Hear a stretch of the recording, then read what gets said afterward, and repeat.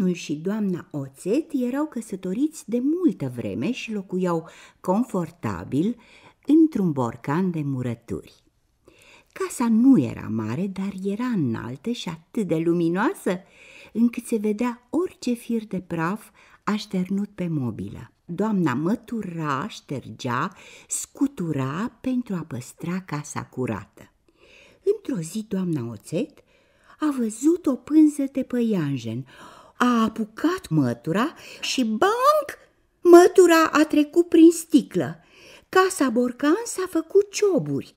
Doamna a fugit în grădină și a strigat, Oțet, nu mai avem casa borcan!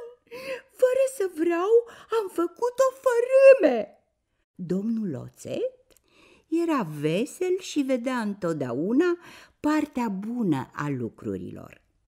Iubito, oricând se pot întâmpla accidente, lasă plânsul.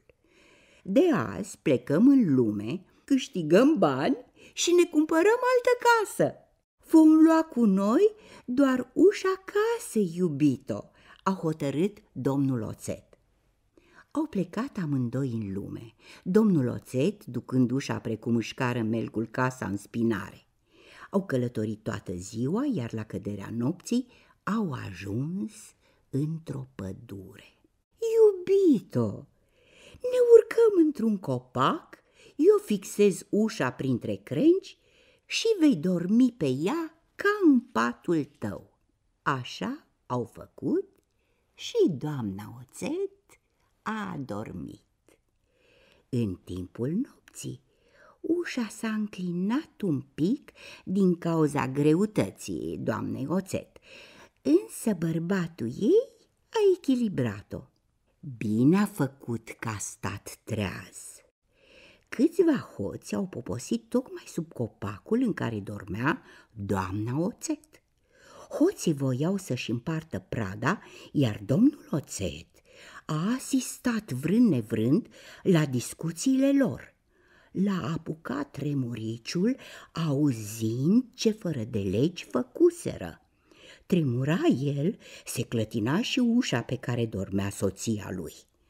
Când hoții au început să-și împartă banii, de atât a tremurat, ușa s-a înclinat periculos și a căzut cu tot cu doamna Oțet adormită. Speriați de moarte, hoții au luat-o la goană, lăsând acolo banii jefuiți. Domnul Oțet a târnat de o cracă în întuneric, a așteptat să se lumineze de ziua, apoi a coborât și el din copac. E unde? Unde mă aflu?" l-a întrebat doamna Oțet, buimacă de somn. Pe jos, iubito," i-a răspuns simplu domnul Oțet. Ai alunecat cu ușa, nu te-ai trezit, deci ai dormit bine."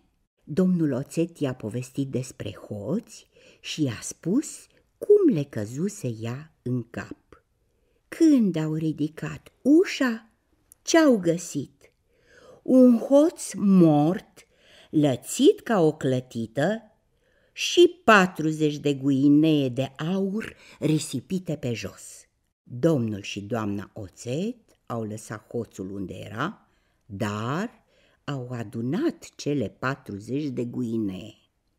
Bărbate, eu o să te aștept sub pâlcul de copaci de colo. Tu du-te la cel mai apropiat târg și cumpără cu banii ăștia o vacă. Vaca o să ne dea lapte și unt. Noi o să vindem laptele și untul și o să facem rost de bani.